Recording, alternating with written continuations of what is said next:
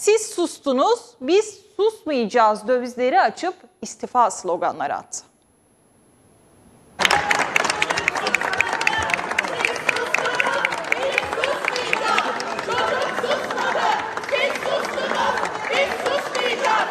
Türkiye'nin konuştuğu İsmail Ağa cemaatine bağlı Hiranur Vakfı'nda yaşanan çocuğa cinsel istismar skandalı mecliste sert tartışmalara neden oldu.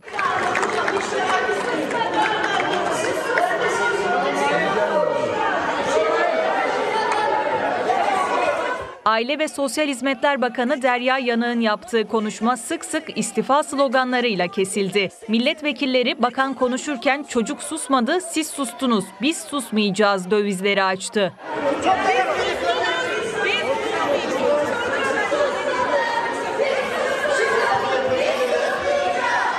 Meclis Genel Kurulu'ndaki bütçe görüşmeleri tartışmalı bir şekilde devam ediyor. Dönün arkanızı. Ben de sizi görmek istemem doğrusu. Şimdi değerli milletvekilleri, değerli milletvekilleri, değerli milletvekilleri, Sayın Başkanım lütfen. Aile ve Sosyal Hizmetler Bakanı Derya Yanık, Hiranur Vakfı'nın kurucusu Yusuf Ziya Gümüşel'in kızını 6 yaşındayken imam nikahıyla evlendirmesine ilişkin konuşurken mecliste tansiyon yükseldi. Tabii tabii. Siz siz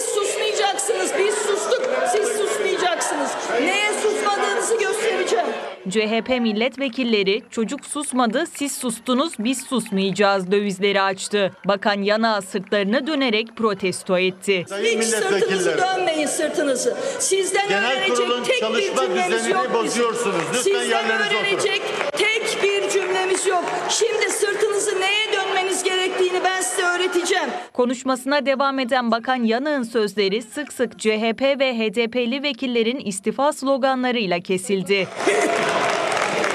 Anlatayım mı? Kim istifa edecekmiş?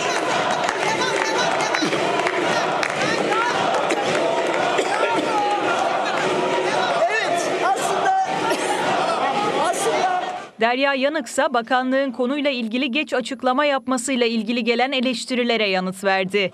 açıklamamızı açıklamamızı geç yaptığımız için arkadaşlar eleştiriyorlar. Evet, üç gün sonra yaptık açıklamayı. Neden? Çünkü kamuoyuna mağdurla alakalı ne kadar bilgi yansıdığını. Yürütme adına konuşmaların tamamlanmasının ardından söz alan HDP Grup Başkan Vekili Meral Danış Beştaş, Aile ve Sosyal Hizmetler Bakanlığı'nın çocuğa yönelik istismar olayını gizlediğini söyledi ve yana istifa çağrısında bulundu. 30 Kasım 2020'de 6 yaşında çocuk istismarı meselesi savcılığa yansımış. Ve 2020 yılından beridir bu istismar olayını sakladıklarını itiraf etti. Evet, Meclis Genel Kurulu'nda İçişleri Bakanlığı, Sağlık Bakanlığı, Aile ve Sosyal Hizmetler Bakanlığı'yla bağlı kuruluşların bütçeleri görüşüldü. Yürütme adına sözlerin tamamlanmasının ardından Türkiye İşçi Partisi sözcüsü ve İstanbul Milletvekili Sera Kadigil sataşma gerekçesiyle söz talep etti. Ve İçişleri Bakanı Süleyman Soylu'ya bakın nasıl seslendi.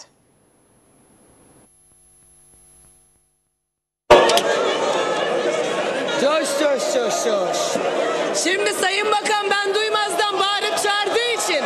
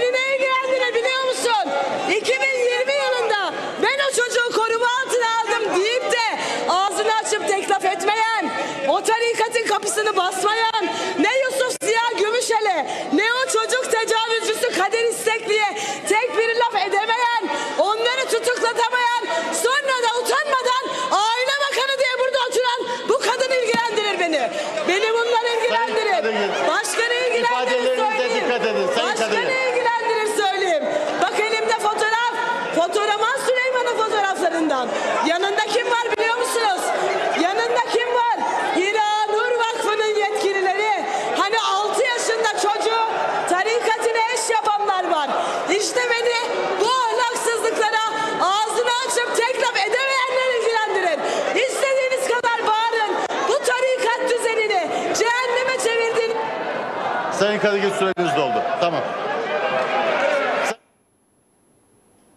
Evet 6 yaşındaki kız çocuğunun evlendirilmesi skandalı ülke gündemine oturdu. Az önce de aktardık. Mecliste de gergin dakikaların yaşanmasına sebep oldu. Peki mecliste bu konuya ilişkin neler yaşandı? Aynı zamanda İçişleri Bakan Yardımcısı Mehmet Ersoy'un meclise silahla geldiği de iddia edildi. Ersoy'a tepkiler ne oldu mecliste? Şimdi CHP'li Ankara Milletvekili Gamze Taşçıer'le mecliste yaşananları konuşacağız. Sayın Taşçıer yayınımıza hoş geldiniz. Hoş bulduk Beste Hanım. İyi yayınlar diliyorum. Teşekkürler. Sayın Taşyer, şimdi ilk olarak şunu sormak istiyorum. Dün çok gergin dakikalar yaşandı mecliste. Tansiyon hayli yüksekti. Ee, gündem belliydi aslında. 6 yaşındaki kız çocuğunun evlendirilmesi olayıydı. Neler hı hı. yaşandı mecliste? Bizlere aktarabilir misiniz? Çünkü sizler de Bakan Yan'ın istifasını talep ettiniz. Ardından neler oldu? Hı hı. Ee, öncelikle üzüntümü ifade edeyim. Tabii hı hı. meclis içerisinde e, bu tarz e, konuşmaların yapılıyor olması bile son derece üzüntü verici. Keşke her bakanlık üzerine düşen sorumluluğu layığıyla yapmış olsaydı. Keşke 6 yaşındaki bu çocuğumuz bu durumu yaşamamış olsaydı ve biz de dün mecliste gerçekten 2023 yılında kadınlarla çocuklarla ilgili ne yapacağımız, ne kadar bütçe ayrılacağı ve daha iyi nasıl onların hayatlarını iyileştirebileceğiz onun tartışmasını yapsaydık. Ancak maalesef bu ülkede 6 yaşında bir kız çocuğu maalesef bir karanlık zihniyetler tarafından korunamadı. Bu sadece duyduğumuz. Evet. Biliyoruz ki kapı, karanlık kapılar arkasında mağduriyeti olan, ses çıkaramayan yüzlerce kız çocuğumuzun olduğunu bizler de farkındayız. Çünkü maalesef böyle bir gerçeklik var Türkiye'de. Birileri e, bu yaştaki kız çocuklarıyla kendilerini evlenmeye hak görüyorlar ve bunu yaparken dini istismar ederek yapıyorlar. İşin en acı verici yanı da bu. Bakın e, öncelikle şunu ifade edeyim.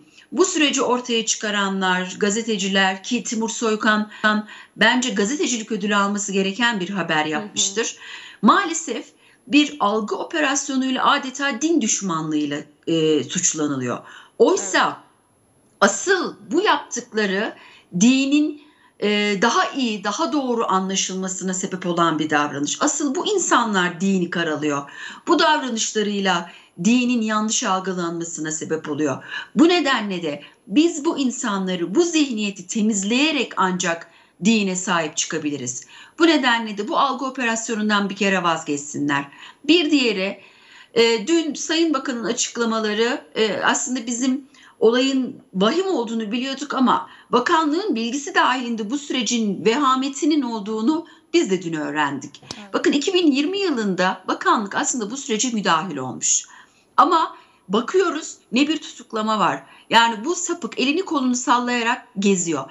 Biz kız çocuğunu korumaya aldık. Yok şöyle okuma yazma öğrettik. Can güvenliğinden emin olabilir misiniz? Evet. Ya bu kişi elini kolunu sallayarak geziyor. Bu kıza zarar verebilir. Ya da başka küçük kız çocuklarının e, bedenine dokunup onları taciz edebilir. Bu konuyla ilgili Aile Bakanlığı'nın ne savcıyla, ne doktorla, ne bu sapıkla, ne ailesiyle, ne de bu vakıfla atılmış tek bir adımı dahi yok. O da o zaman siz bu süreci görmezden geldiniz, üzerini kapatmaya çalıştınız. Biz de bu nedenle Sayın Bakanım dün istifaya davet ettik. Evet. Çünkü belli ki bulunduğu konumun hakkını veremiyor. Belli ki bulunduğu konumun gerekliliklerini yerine getiremiyor. Bu nedenle de daha fazla o koltukta durmasının bir anlamı olmadığını düşünüyoruz.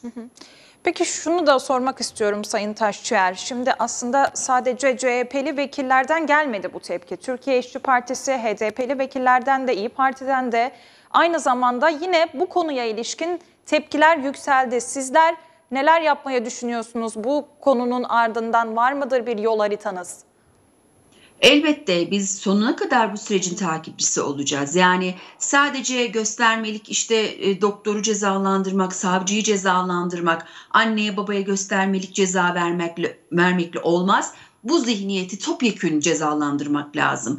Yani birilerini e, kurban seçip onları cezalandırıp sonra diğerlerini görmezden gelemeyiz. Siz eğer 6 yaşında kız çocukları evlenebilir diye fetva veren bu vakıfları, bu tarikatları cesaretlendirir. Onların sırtını sıvazlarsanız, ticaret yapmalarının önünü açarsanız, siyasette bürokraside kendilerine yer edinmelerini sağlarsanız bununla mücadele etme şansınız yok. Bugün bu kızımız olur, yarın başka kızların canı, başka erkek çocukların da. Çünkü anlaşılıyor ki bakın daha önce de Ensar Vakfı'nda benzer 45 Evet, evet. erkek çocuğunun istismarını yaşadık. Dün bakan bir algı operasyonu yapıyor. Diyor ki siz kendi içinize bakın. Ya biz o gün 2020 yılında dün ben konuşmamda da söyledim. Çıkıp bunun kabul edilebilir hangi parti kimden olursa olsun böyle bir şeyin kabul edilemeyeceğini ifade etmiştik ve hemen disiplin sürecini başladık. Ancak bakın AKP'de de o kadar istismar vakası var. Tek bir kadın vekilin açıklaması yok. Biz elbette ki bunları yarıştırmak gibi bir derdimiz yok. İnsanın olduğu her yerde bu tür pislikler olabilir. Ama siz benim tacizcim, senin tacizcin derseniz işte sizde de vardı gibi üzerini kapatmaya, olayın yönünü değiştirmeye çalışırsanız hele hele Aile Bakanlığı gibi bir makamda iseniz bu ülkede yaşayan tüm çocukların inancı, kimliği, siyasi partisi ne olursa olsun tüm çocukların, tüm kadınların haklarını savunması gereken bir makamda olup sizin tacizciniz, bizim tacizciniz diye bu olayı ayrıştırırsanız bu iş içinden çıkamazsınız. Bu sizin sadece zavallılığınızı gösterir. Evet. Elbette ki topyekün bir mücadele yapılmalı. Bakın Sayın Bakan'ın dediği yanlış. Bu iş siyasetin konusudur. Ama partilerin konusu partiler üstüdür ama siyasetin konusudur. Bu nedenle de biz Cumhuriyet Halk Partisi olarak bu sürecin takipçisi olacağız. Bu kişi, bu sürece e, sebebiyet veren herkesten en ağır ceza almasını sağlayacağız. Ama e, bu kişileri cezalan, cesaretlendirecek davranışlarda bulunmaması yönünde de elbette ki iktidarı takip edeceğiz. Sayın Taşçer az önce çok önemli bir şey söylediniz aslında. AKP'nin içerisinde de istismar olaylarının yaşandığından bahsettiniz. Sizin bu konu hakkında özel bir bilginiz var mı? Varsa bizimle paylaşabilir misiniz? Ee, ya tabii kamuoyuna da yansıyan e, bir sürü vaka var. Hatta yani e, sayfalarca diyebiliriz AKP içerisinde bu tür vakaların varlığına. E, en çarpıcı örneği Selçuk'ta e, kendi öz çocuğunu istismar eden bir gençlik kolu başkanı vardı. E, dediğim gibi bu bu topyekün bir AK Partileri suçlayacak bir söylem değil benimkisi ama insanın olduğu her yerde olabilir. Evet. Ama bir bakan olarak siz çıkıp da siz kendi içinizdekini bakıp diyemezsiniz. Tabii. Bu sizin ancak zavallılığınızı, acziyetinizi gösterir.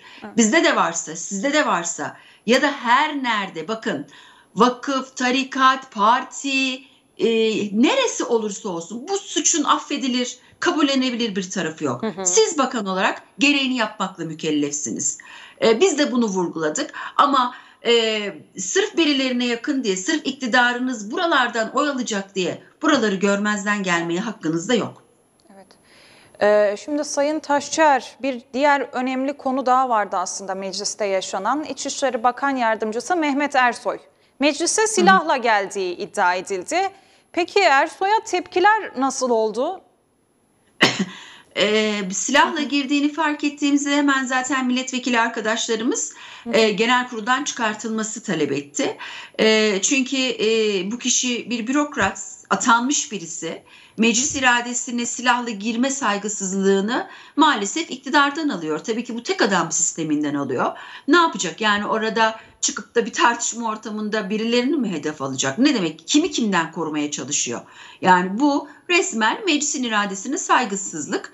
E, dolayısıyla da bizler hemen tepki gösterdik ve bir an önce bu kişinin salondan çıkarılmasını ve e, bu e, üzerindeki aleti çıkartarak salona geri girmesini söyledik ve e, öyle de bir süreç yaşandı. Ama e, Beste Hanım şunu söyleyeyim bu nasıl artık fütursuzca davrandıklarını, nasıl kural tanımaz olduklarını, nasıl milletin iradesini yok sayıp kendilerine her şeyi hak gördüklerinin bir göstergesi. E, elbette ki bunun da tek sebebi e, tek adam sistemi ama e, az kaldı. Seçimlere de az kaldı. E, zamanında olduğunu düşünürsek 6 ay gibi bir süre kaldı. Dolayısıyla biz bu ülkeyi bu zihniyetten, çocuklarımızı, kadınlarımızı bu karanlık zihniyetten, vatandaşlarımızı bu hadsiz e, tavırlardan e, kurtaracağız ve Türkiye'yi yeniden demokrasiyle, adaletle, insan haklarıyla buluşturacağız. Sayın Taşçıar aktardıklarınız için çok teşekkür ederiz. Ben teşekkür ederim. İyi yayınlar diliyorum. Teşekkürler.